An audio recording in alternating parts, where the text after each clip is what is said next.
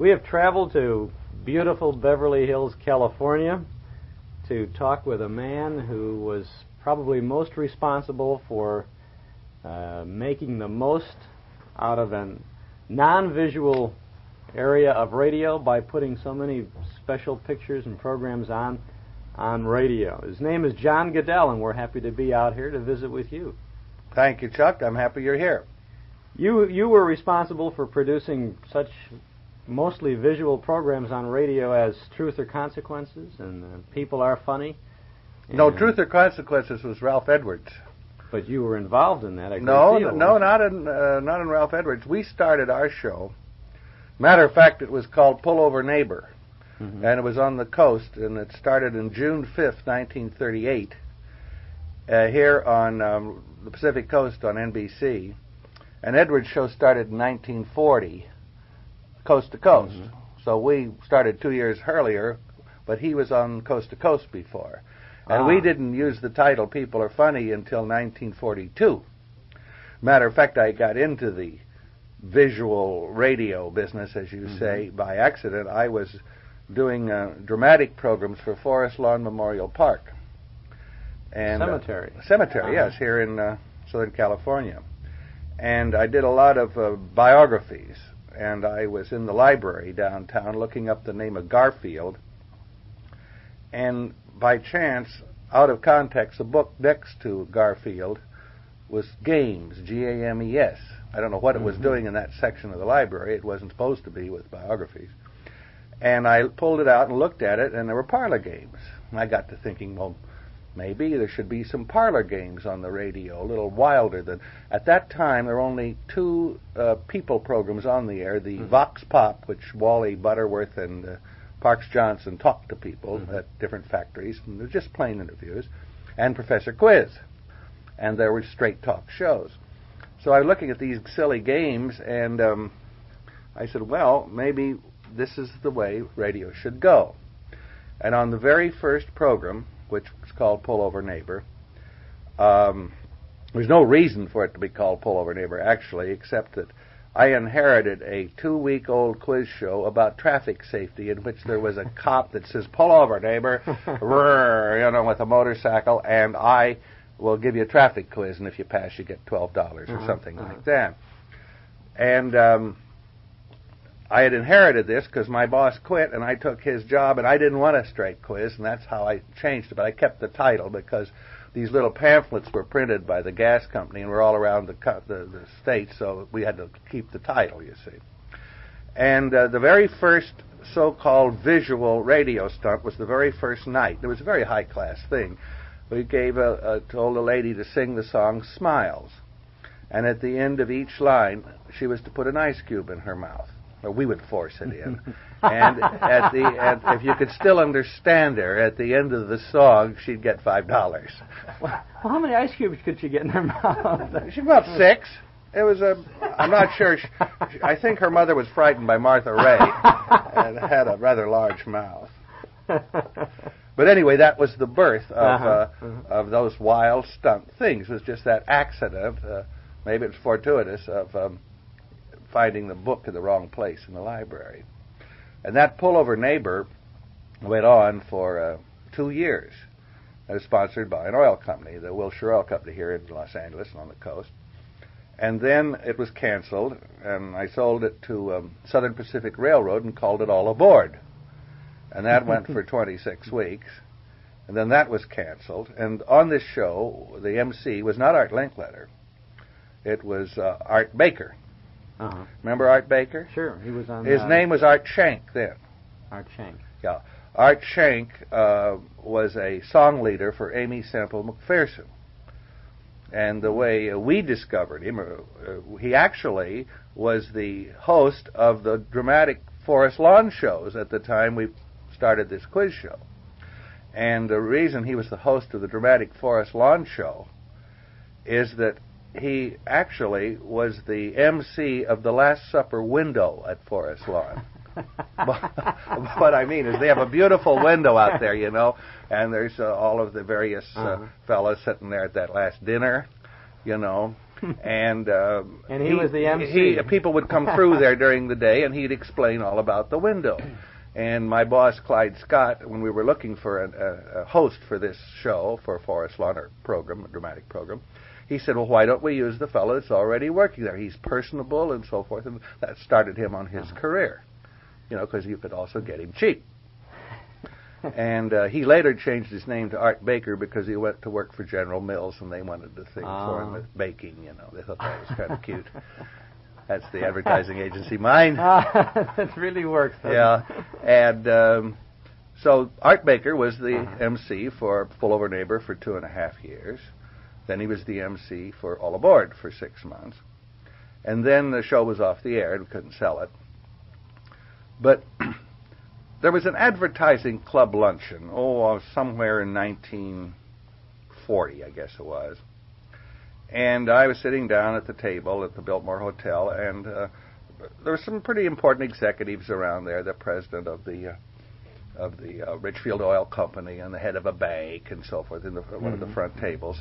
And I was looking at them, and they were all drawing pictures on the table, doodling. You know, one draws a sailor, and one draws stars, and one draws some woody a tree. And the man on the stage was making a pretty dull speech. You know, he was you mm-hmm. know was just talking there. And so I wrote down a comment about these, what was going on. I wrote, people are funny. Just the phrase, people are uh-huh. funny, as a comment. Then I put, I, I made it big, lots of letters and big thick letters, you know, made it look like a, the 20th Century Fox, you know, uh-huh. the, the uh, logo. And I thought, well, there's a, there's a, a theme for a program. Human nature, proving that people are funny. So, um, what happened was I, I uh, thought I should have a psychologist on it, and, you know, and, and do a stunt, and then have a, a psychologist analyze it, analyze it. And uh, I got a hold of a fellow at USC named Milton Metfessel, who was a very high class psychologist down there, a teacher, and he, um, we made a record. And this record we made with Art Linkletter. Now that's where he comes into the picture. It's kind of interesting. I had a friend named Bruce Eells, and uh, Bruce was a bank examiner, and Bruce said, "Can I get into radio? I don't like to be a bank examiner." And I said, "I can get you a job, I think, with the head of Mutual as a salesman, which shouldn't be too hard. After all, salesmen are on commission." And he said, "Good." So I got him this job, and he became their very best salesman. That's Mutual on the coast. Mm-hmm. It was called Don Lee. It's a whole bunch of 30 stations on the coast, and he traveled a lot. And he came back from one of his trips and he said, You know, last Sunday night in San Francisco, I was walking across the lobby of the Sir Francis Drake Hotel. And there's this young fellow who was interviewing people on a program he called Who's Dancing Tonight, just standing there with a microphone talking to people. And I thought he's awful good, and you ought to meet him. I think he's better than the fellow you have on, Art Baker, Art Shank. And uh, I said, sure, what's his name? He said, Art Linkletter. And I said, well, the next time you run into him up there, because he's a guy traveling, tell him to, next time he's in Los Angeles, I'd like to have lunch with him. Mm-hmm. So he did set up such a lunch. And I met Art. He was standing by a lamppost out in front of the um, Belrose Grotto, and uh, I introduced myself, and we went in and hit it off right away. And uh, he had an idea for a psychology program called Meet Yourself. Mm-hmm. And I had People Are Funny. So we joined forces and made this record. Well, the record wasn't very good. It was all right, but it was kind of a serious record. So I patched it in and took some of the old Pullover Neighbor records, which were very funny, and interspersed them with the mm-hmm. Linkletter People Are Funny record. And so it made it look like it had two MCs on it. We're back to Parks Johnson, Wally Butterworth, you yeah. know. And uh, it was pretty long and I played it for NBC, and they owned a half interest in the record and in the show because they put up fifteen dollars for the record, and I put up fifteen dollars, so they owned half interest. And they sent the record to New York, and the New York man named Clarence Menser, who was head of programming at NBC at that time, he turned it down. He says it's too dull. That psychologist is too dull. And so I said, well, can I buy back NBC's half interest for fifteen dollars? They said, sure. So I gave him back the fifteen dollars, and so I then owned the whole show. All I did was cut the psychologist out of the show and make it shorter. We just didn't have him anymore. Mm-hmm. And so we had a pretty good record then. And, uh, you know, it didn't have a psychologist in it, and it was funny, and it had two MCs. And um, I took it to all three networks then. They all turned it down. I took it around to a lot of other places. About a year went by. And I read in the paper in March of 1942, that's right after the war started, the Daily Variety, Weekly Variety, had a front page story saying that the government gave the Brown and Williamson Tobacco Company one week to get a program off the air. And not, not even one more broadcast. They had to have no more broadcasts because it was called Captain Flagg and Sergeant Quirk. And that's a funny show. And they did not, during wartime, want to show or depict Army officers fraternizing with enlisted men. Because that's what that did, Captain Flagg. that was based on the What Price Glory. What Price Glory, Yeah. sure. Mhm. And uh, they gave him one week. Well, I'd been writing letters to everybody, President Roosevelt and Cecil DeMille, you know, and trying to get something. And so I took this yellow sheet of paper and wrote, I have the answer to your problem, and sent it to the man's name of the agency, Russell, uh, Tom Wallace, of the Russell Seeds Agency in Chicago, was mentioned in the article as Mhm. being involved. And um, I did feel I could afford to send a telegram because I sent out so many letters, I saying I have the answer to your problem that I just sent letters, you know. And that's all it says. I have the answer to your problem. And if it, so apparently they did have a quick problem, so they sent a wire back. What is it on Monday? And I sent them the record, and they got it on Wednesday. And uh, they said, "How much do you want for it?" And I said, "We want five thousand dollars a week." And they said, "We'll offer you seven hundred and fifty dollars." And I said, "Well, is um, that your rock top?" and and uh, we argued a bit Uh-huh. and ended up at seven hundred and fifty dollars for four weeks. And we went on two days later. You see, we had to go on that Friday. We didn't see any of the people back east. We didn't see the agency people. We didn't see the Brown and Williamson Tobacco Company people because at the time was that they had live radio time coming Ready up Friday go, at yeah. six o'clock on NBC, and what's going to fill it? So they had this high class seven hundred and fifty dollar program called "The People Are Funny," and uh, it was fair. Well, did you do that now with uh, with both one or two both MCs? MCs, Both both MCs. MCs. Uh-huh. Well, after two weeks, Baker informed me that he said, "I am not going to work with that other fellow because that other fellow was a great ad libber and Baker Mhm. wasn't. Baker was a nice fellow, but you'd have to write down on cards." Uh, yeah, that's what I would have said. And, yes, sir. And thank Oh, you. the whole You- business, Yeah, huh? he he's a, was a good voice and good newscaster Mhm. and a real nice guy, except that he didn't ad lib. So he said, either he goes or I go. Now Baker knew he had the strength because, after all, he was the one that was on the coast shows that had the good ratings and everything. And Linkletter's that new fella from San Francisco that nobody had ever heard of, and uh, the client said, uh, uh, "Take Baker." You know, you can't. We won't take accept Linkletter. We'll accept Baker. So I talked to Art Linkletter and I said, "This guy's pulling a trick on us. He should have told us before it started, because he knew before it started." But he felt if he got it on the air, why then he could make the deal, you Yeah. know. And so he did. So uh, Linkletter agreed to go back to San Francisco and write jokes for the show and stuff. For uh, and I said, just bide your time. You'll get back on this show. And it took a year and a half. And the show bobbled along. It went pretty good. It went pretty good. It was a fairly good, successful show. But after about a year and a half, I felt that it's just if we could have a guy that could ad lib, we'd be so much better. And here's Linkletter up in San Francisco. And so I fired Baker. And um, he sued me for hundred thousand dollars. Well, he really didn't have a right to, as far as I was concerned, because he had never contributed. He didn't own part of the show. He was hired as an MC, and Did Yeah. you have a contract with him? the contract was as an MC. Uh-huh. He says, "Oh, I know I can't win on the lawsuit, but I just want to make it tough, you know." Well, was did you fire him at the end of a at the end of the contract or in the in, in the midst of it? Oh, I could fire him any 13-week period. Oh, I see. I See, and this was one of them. Yeah. Oh, it was I- just a, I told the client that I was going to And then when he sued me, the client says, "Put him back, put him back. We don't want to be sued." Mhm. But I said to the client, I said, "Well, I indemnify you anyway. The contract says if, you know, the the packager indemnifies the network and the packager indemnifies the um, the client, the Mhm. Brown and Williamson Tobacco Company." So I didn't have any money at all. We weren't making much money on this show. After all, we were making 750 in the beginning, and then it went up to 850, and then a thousand, and so forth. And um, matter of fact, on the very fourth week of the show of that original contract, we got a wire from the president of the agency. He said, "This is the one that counts."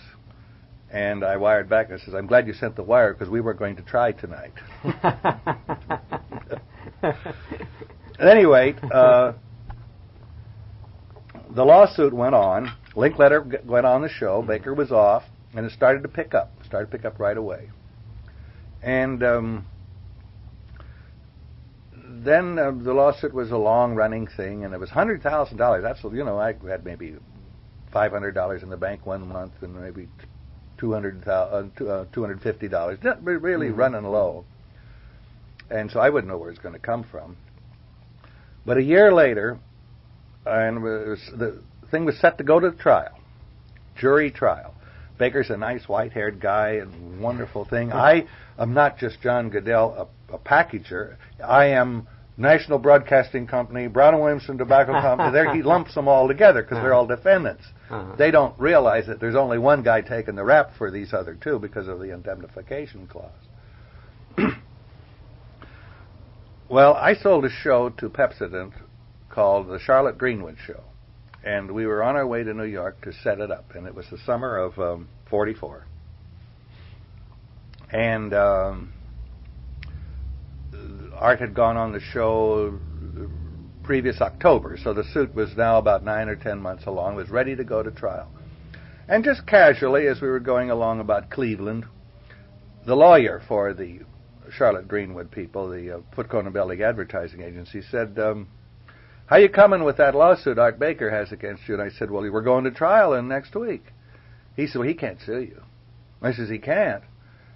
I says, "No." He says, "A, produ- a star, an actor, cannot sue the producer without first going to arbitration." Says so on page seven AFRA code book so and so and so and so. Now, this Martin Gang is a is a show business lawyer. I'd made the mistake of getting a downtown lawyer, you know, Ah, a friend of the ah, family, that ah. sort of thing. He didn't know about the AFRA thing. So I got off the train and I wired the my lawyer. It says, look it up, page so and so and so and so and so and so. And so we did go to arbitration, and we won. Did you send your lawyer a fee then on that? We had- Our lawyer, the lawyer on the train, Uh-huh. was was my arbitrator. uh-huh. And then Ah. Baker had his arbitrator, and then there was a neutral arbitrator.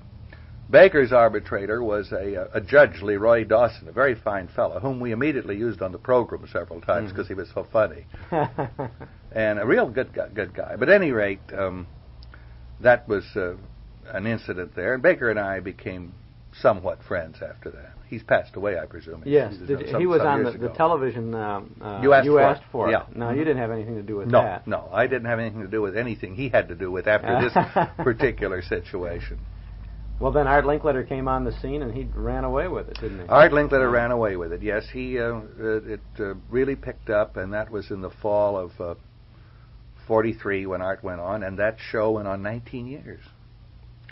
Um, the radio went from 1942 until 1954, 12 years, and then the television from 54 to 61. Mostly on radio, it was Raleigh cigarettes, wasn't it, or Um, the tobacco company? Yes, it was um, Raleigh and Kool, and yes, Uh-huh. and and then it was um, Milky Way candy Mm-hmm. bars and Amana freezers and and that sort of thing. It's odd. You were speaking of the visual things. Why you do certain visual things? We were going to do a show at the Long Beach Municipal Auditorium, and we called uh, for a cow to be on the program. And Irvin Atkins, who was the guy that did everything on the show, you know, you Mhm. go and get anything you want. Uh, he um, went to the janitor, to the maintenance man at the um, auditorium, and says, "This elevator's strong enough to hold a cow." And uh, he says it's strong enough to hold an elephant. So whoever says told me the story, I said, "Well, let's get an elephant instead." so that's how we happened to have an elephant on instead of a cow, and it it's amazing how this picked up around the country. He says they put a, an elephant on the radio because there's something about it when the audience saw him, when the contestants saw him, it went through their voices and things. Now this was probably a rather small elephant. Not as big as this room. The elephant was? Sure. Full size elephant. Oh, all right. Now, if we can get a full size elephant for the same price as a little elephant, we're going to get a full size. Well, I was wondering, you see, the listener at home, you know, he his imagination is working. You're saying here's an elephant.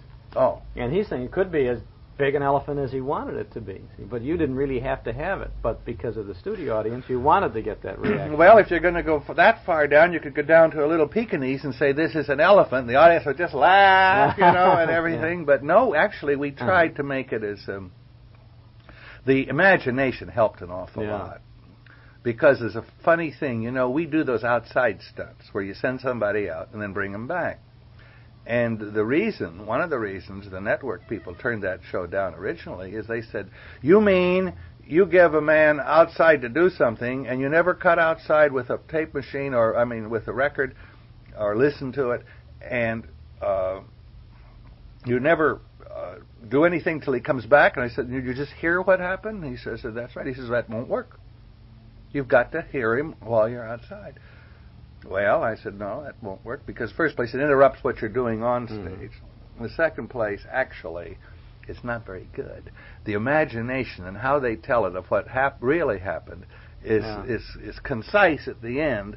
Whereas if it had been picked up here and there, you know, there's nothing so dull as an open mic on a street before anything is edited. Yeah. They just, now we'll go back to them in a few minutes, yeah. you know. Well, it used to be fun though because he'd cut away, send them out, and then it say, "Say goodbye to him, audience." Isn't that yeah, what the yeah. art used to say? And then uh, you'd almost forget about them, yeah. except maybe somewhere you might refer to somebody them, might mm-hmm. make a mention of it. And then when they'd come back, you know, mm-hmm. you, you'd be really excited about hearing what they were saying. And if someone outside who was participating in the stunt, Is you brought. know, and they bring them back, Yeah. and then they tell about their reaction. It really was. Yes, when you very bring an extra person back that was they found out there, that helped Yeah. a lot. That helped a lot. Yeah. I often had a guy in a bed at the corner of Hollywood and Vine, or sleeping out there, or waving a, a car that would growl at people or something like Yeah. that. It's fantastic. Who thought up all of the stunts? Oh, we had. Um, I was principally a writer because I used to write Laurel and Hardy comedies. Uh, You did. Oh yeah, uh, and uh, our gang, and that's what I did before I got into uh, radio. I got fired six, six times from Hal Roach Studios. Every time Mr. Roach would want to go to Alaska to hunt bear, um, pretty chilly up there, uh, he um, would close the studio, and so we'd all get fired. Uh, the writers would get fired, and then um, we'd come back, and um, he'd come back and open studio, work again, you know. And so, fired six times in three and a half years. So this radio came along. I thought that would be a good idea, you know. How did how would you write? I, I have to step aside from uh, this for a moment. How did you how did you write the material for Laurel and Hardy? I mean, did you give them an outline and they just took it away? Oh no, no. really follow it, or oh no, they had a script, sort of, Mhm. and a storyline and a dialogue. It looked something like a script. There was an awful lot of work done on the set, and Laurel was brilliant, and he Mhm. did a lot of improvisation, and you just kind of help out after they're on the set. The the writing that was done more uh, followed directly was for the Charlie Chase, the Thelma Todd, and uh, Patsy Kelly comedies, the Mhm, Our Gang, and um, the Our gangs were tough to do because you know they always did everything as a group. The the gang thinks some way. You know, you know that's seven kids doing the same thing. They go in and out of a door all together. Uh-huh. It's it's, it's awkward, and it looked awkward. Uh-huh. But the things were fairly successful. You worked only on the comedies, and I mean the shorts, not. Uh, No, I worked on the. Bohemian Girl Did you? feature and uh, General Spanky, which did 65% of normal business that year. you know, Photoplay would list all of the shows, Uh-huh, all the movies. San Francisco was at the top in 1936, and there was about seven columns, and we were second from the bottom with General Spanky. we beat out Jack Haley and Mexican Hayride. I think he did 62% of Be glad to be reminded of that. Yeah, I, yes. Uh-huh. Well, at any rate, you, your original question about people are funny. Um, Jack Stanley, who recently passed away, fellow I knew at UCLA, and he was just crazy. You know, he'd wear a coonskin cap with a with a thing hanging down the front, and he'd go to all of UCLA football games. He'd have a trumpet and yell "charge." That kind of a fella. uh, he later became a writer, and as you could, and on People Are Funny, and um, then there was. Um, who else? Lou Shore was a writer, wasn't he? On People Are Funny. My father, my father. Really? Oh yes, I'd hired him, and he was a writer and sort of a production man for years, and he was still on the show when it went off, and he was 75 years old then. Oh, great. Well, on the house party show, yes, yes. We're getting And, some um, aside help from yes. Mrs. Guedel. Yeah, why don't you come over here, honey? You can help me out here on some of this. stuff. Come on, come on over here. We're chatting in the Guedel Yes. living room here. Yeah, Mrs. Guedel is uh, uh, was cut in half by Blackstone for eight years on the road. She hasn't suffered a bit Yes, by it yes. either. you were also a contestant on uh, Groucho Marx's program. Yes, I was. Yeah, that was before the uh, infamous sawing in half. Right, about two years before. Oh, good. Well, she suffered. She looks pretty good today. Yes, the, the band-aids don't show. well, we bring up You Bet Your Life because you produced that program. yes, that came about rather interestingly, I thought. That um, overlapped People Are Funny as well as uh, the House Party overlapped them both, you know. Um, I think the entrance, uh, how shows start are of interest. I think, for example, how House Party started was of, of, of, of interest because uh, a lot of people listening to the radio say, well, how can I get into these things? And how do these things happen? Told you how the chance of people are funny reading it in the paper. You didn't need an agent. You just be alert to what's going on right time. Now, let's, let's set the scene for a second. The House Party was, uh, Art Linkletter was the host of that, and that was a daily show. Every day, wasn't it, yes. In the afternoons, Yes, usually? uh-huh. uh-huh. Yes, Audience it- participation. Yes, it ran 26 years and was one of the top three programs longer than any other daytime program. So it was had a Mhm. highly successful rate. It was on CBS most of the time. It was on ABC a while. Uh, how did it get started? Well, I had sold a show to International Silver through Young and Rubicam called The Adventures of Ozzie and Harriet Mhm. uh, in the summertime of uh, the year 44.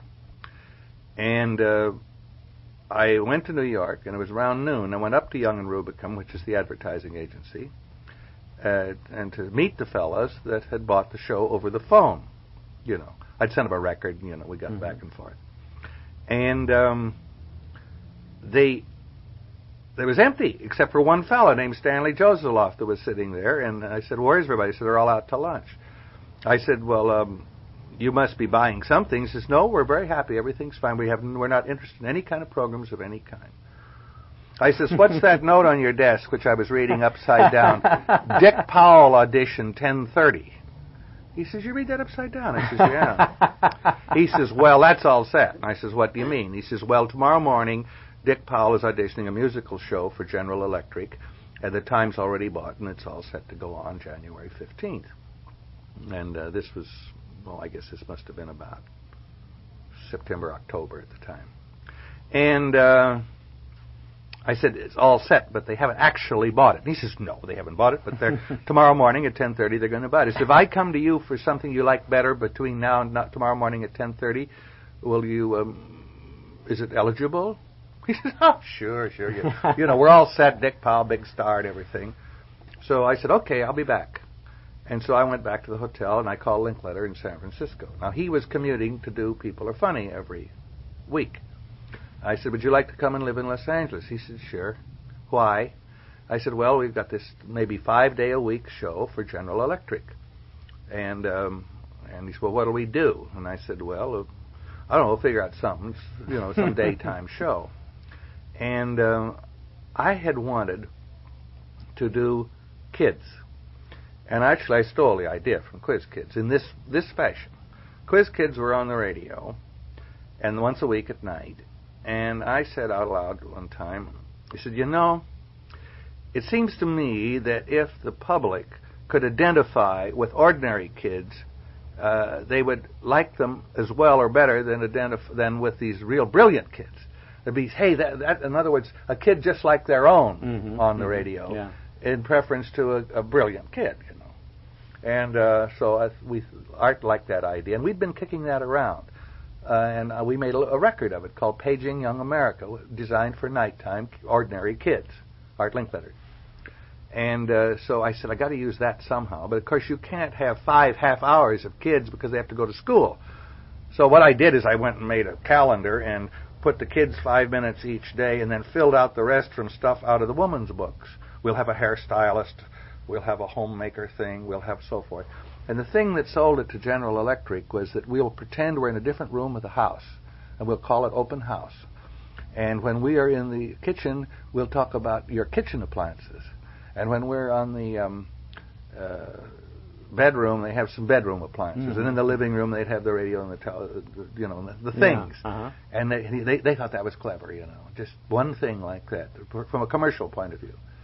Because we're not anywhere; it's your radio imagination, you know. And we'd have sets built, we'd say, and have them, and so they'd walk around and hit the things. And and at any rate, uh, Linkletter was doing well and People Are Funny, so they liked the MC. And uh, we they didn't buy us, but they didn't buy uh, Dick Powell. Dick Powell. See, and they paid for an audition, and we made one, and we went on the air. And uh, in other words, if you're in there at the last minute, uh, and of course our price was Yeah. better too. Well, you know, we, we didn't. Have well, you see, the big thing though was the Timing. Well, well, yeah, but getting going to the heart of it with the sponsors. saying, This is how we're going to yeah. your product. Yes, yes, and they they they Yeah. thought that was good because instead of just stopping something, I said we'll mingle it in, Mhm. you know. And of course, um, there was one interesting thing that one fellow I think I don't he got fired or not, but they were going to introduce a coffee maker, and they took us on tour for 19 weeks. But this one particular week, they're going to introduce the coffee maker. They chose Salt Lake City. And we were going to give coffee makers to every contestant. And all this big thing and all the coffee makers. And the very first contestant says, Here's your coffee maker. Says, I'm a Mormon. I don't drink coffee. Thank you very much. every person in that audience was a Mormon. Every person in that audience all week long was a Mormon. This is the only major city in the United States we could have picked where they don't drink coffee as our coffee maker launcher. Isn't that something? Well, you were back to um, back to the uh, Groucho thing. oh, well, I, listen, we're just uh, jumping around. yeah, That's all right. let's see. Now, House Party did, of course, make a very easy transition to television too. Oh yes, yes. And, House uh, Party went on uh, radio in '45, and it went on radio until um, oh, it overlapped Mhm. television by some 15 years. We had both on simulcast, Yeah. and um, I guess radio went from 45 to about 65, and television went from 52 to 70. So the the run was 26 years. Did uh, GE start started on television too? No, no. GE started on radio, Mhm. and um, they had a strike shortly after we went on, and uh, they lo- we lost them as a sponsor, and then we were on co-op for a while with McMahon Furniture and some others, and then we um, we really got Pillsbury. Pillsbury was Mhm. the key sponsor of the radio Yeah. show, and um, that was an interesting sale. Uh, I had heard on the street on uh, Vine Street. Uh, just happened to meet a fella, and um, I said, "You know, House Party isn't sponsored." And he says, "Well, why don't you talk to Bill Waddell? He can sell anything." It was a, it was a Leo Burnett agency in Chicago, and he was the head of their radio. And um, I said, "Well, I'm going to Europe, and I'm going through Chicago on Sunday, and I'll see if I can call him." And he said, "Well, there's a possibility they're looking around for something for Pillsbury. They're going to buy a um, Kay Kyser." Mhm. And um, so I said, okay. And so I got off the train at one station when you get through with the super chief and called Waddell. And uh, there's only five Waddells in the Chicago phone book. And one of them looked like he'd be an ad agency man because it said Hinsdale. And, you know, it sounds like where an ad agency man would live. And the other looked, you know, it said Cicero and 14th Street and other things. And I didn't feel an ad agency man would live there. So I called the Hinsdale number, which was ex- it was extra, it was forty cents, Uh-huh. and they didn't answer. So I went over to the other station. Now this is how how on what's a fine line a sale can be made or Uh-huh. lost. Went over to the other station, which was the um, train to go to New York, and called again just before the train left. and let it ring and ring and ring and said, Operator, give me my money back. He said, Wait a minute, here's your party. And it was Bill Waddell. And I introduced myself and said, um, and here again, they were just about to buy something. He said, Well, we're going to Minneapolis to uh, sign up the um, Kay Kyser show for Pillsbury on uh, Tuesday. And uh, can you make us a definite offer? And this thing sounds good. I'd like to talk about it. I said, Well, General Foods has a. Um, Young Rubicam has an option for 90 days. He said, Well, that's out. I said, However, Pat Weaver's a nice fella, and when I'm in New York tomorrow, I'll try to get him to lift it. Then you can make the offer. And so he said, Fine. And, you know, Weaver said um, next day he was head of Young and Rubicam Radio. And uh, he said, uh, I, We got 90 days, huh? And I says, Yeah. And he says, Well, I only got two clients, Borden and General Foods. He says, I'll call them both up now. He says, you don't want to buy that show, do you? And he says, no. He says, Nicole, he says, you know, you have to buy it right now or else or something. You know, he, he just kind of fuddled Yeah. with the executives, and they weren't really interested. He says, okay, the 90 days is off. Go ahead. Isn't that Oh, nice of him? Super, yeah. Yeah, you know, they could have held on and Yeah. fussed around and made presentations, but they didn't have any real prospects. Those were their 2 Mhm. big people in that. And so um, I called Bill Waddell, and we talked every once in a while. I went to Europe, and we talked from Scotland and talked from, from Germany and talked, and finally in Switzerland, the deal was all set. and Link was in Rome, so I called him. It was very, very international in that thing. That's And Pillsbury, yeah. you know, they bought the whole show, and they were wonderful, wonderful outfit. They were with us all the way through uh, radio and television until it was off. They didn't have the whole show in television. Nobody Mhm. buys the whole Yeah. show in television. The last thing is the Groucho thing, and you're running out of your time here. I see you got about five minutes. It started in an interesting Ever the way. producer. Ever Yeah, the producer. uh, there was a, a Walgreen two-hour radio show on once a year to, for a penny sale, and they got a lot of people that were stars. Uh, radio spectacular, I guess you'd Mhm. call it. And Linkletter was called to do a People Are Funny stunt, and I was the producer, and so I was there, and I held the needle, which was to hand to Linkletter, which was to hand to uh, Cesar Romero, who was blindfolded, who was supposed to put a patch on the seat of a contestant's pants. It was a very high class stunt. but I was sitting there in the audience watching Bob Hope and Groucho Marx reading a script, Mhm. funny stuff. And Bob dropped his script by accident. So Groucho dropped his script on purpose, and they were much, much funnier with their scripts dropped than they were reading the Mhm. stuff. And afterwards, I went up to Groucho, whom I didn't know, and said, "You know, hiring you to read a script is like buying a Cadillac for the purpose of hauling coal. You don't utilize Mhm. your abilities." And he'd flopped four times on the radio, and uh, I said, "You want to do a quiz show?" He says, "You mean compete with refrigerators?" And I said, "Yeah." He says, "Well, I've flopped four times so far. What can I lose?" And that's how we went in Mm. business together to do this particular show, which was a rebirth for him because he was Oh, 57 yeah. years Uh-huh. old then. And uh, I, we made that show for $250 and the radio record. And I took it to all the networks. They all turned it down. And because they said Groucho's flopped four times on the radio. So then I read in the paper, here's the reading the variety again, that Alan Gelman, president of Elgin American Compact Company of Chicago, is coming to the Beverly Hills Hotel to sign up Phil Baker for his new quiz show, Everybody Wins. So he's going to, see. So I called up Mr. Gelman at the Beverly Hills. I said, Have you signed up Phil Baker yet? He says, No. I said, I want you to hear a record. So I took the record up to his room and played it. And he didn't know Groucho had flopped four times on the radio. He says, "This is a funny record. I remember him in the Cocoanuts. There's a pretty funny bi- man, you know." okay, and we made the deal. And Phil Baker fired his press agent. anyway, that's how it, how, how the thing got on. you aced him out every time, didn't you? Well, I mean, just no, just by not every time. I'm telling you about the successes. you want to talk about the failures? What was your most spectacular failure? Um, I think the Jackie Coogan show was uh, because um, it was it was on 13 weeks, but they changed agencies before it went on, and it was canceled before it went on. In other words, the the the uh, McCann agency bought it, and um, then the uh, they had a party for the Bromo Seltzer people to come up to New York, and Jackie Coogan didn't get to the Mhm. party, and it was for him, and so they changed agencies anyway to BBD&O, and uh, BBD&O um, canceled the show at the request of the Emerson Drug Company before it went on. So here we go on with 13 weeks with a show that was already canceled, and um, it uh, if it had been a big smash Mhm. it would have helped. But it doesn't help the morale of the of the actors. Say, "All right, we're going into a show that's canceled." Yeah, it's, it's over before we start. and it started in April, and it was eight o'clock on Monday night, and there was too uh, much daylight. And anyway, it wasn't it wasn't very good. It wasn't bad. It was a comedy show, a half hour with Jackie Coogan in a drugstore talking in a high voice forever. and it's Lurene Tuttle was good on Oh, it. yeah. She played a little girl.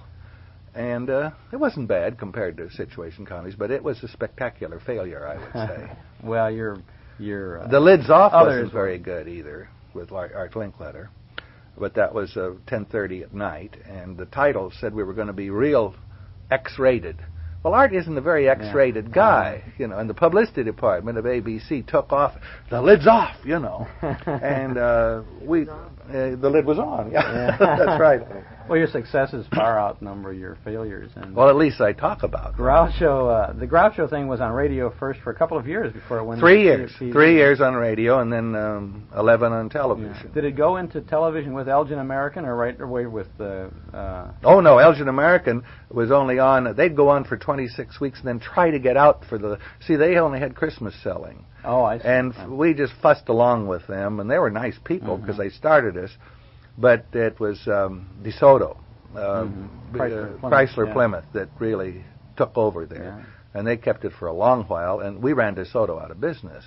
In other words, you know, they so that they didn't uh, made it an extinct car by having so many people. Actually, it wasn't the right product. Here we had a very large mass audience, a number one, number two show in radio and television, and uh, uh, six thousand dollar item.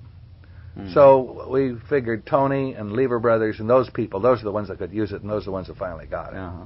And we're Yeah. getting again because Yes, it's we have it's, the best it's, of Groucho all you, over the you place. got it. again. You got it in Chicago, and Uh-huh. uh, and it's it's in a lot of other stations, and it's got a lot of young people never saw Groucho before are interested in that, which is interesting because he's lemon, you know. He, he's uh, he's bitter on the outside and bitter on the inside, and and uh, you know, and he not. yeah, but everybody he's loves a balloon the, the. Marx Brothers movies, and Yeah. they're enjoying him on That's television. right. Yeah, That's really right. good.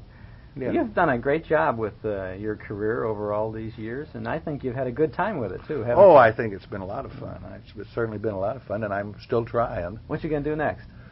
Uh, try to get out of the electronic business. yeah, you've got a nice little business on the side that you're yeah, trying to get that- out of. yeah, nice little. Yeah, I don't want to hear about it. I have to go back into television to make up the losses in the electronic. I have advice to all you um, listeners, if you're still with us, stay with what you know. Thank well, all right. Let's stay with what you know. Well, could you do an audience participation show on radio today? Would you like to do one? Oh, I think people we do could. Yeah, sure. I'm, I think people could do that because uh, radio is uh, basically talk, and uh, if you have, uh, if your units are short enough. You Mhm. see, radio apparently works in a sh- much shorter memory span than it used to. Everything's got to be little units that you can catch in the car, and, and have you ever noticed that they don't seem to have very long things on radio? I mean, Some places we try to take a little more time because Do our chat here is going to play intact without without being broken. oh, well, that's So nice. we'll well, that's that. 40 minutes. That's right. Good. well, thank you, John. John Guedel, thanks very much. We appreciate being with you today. All right, thank you.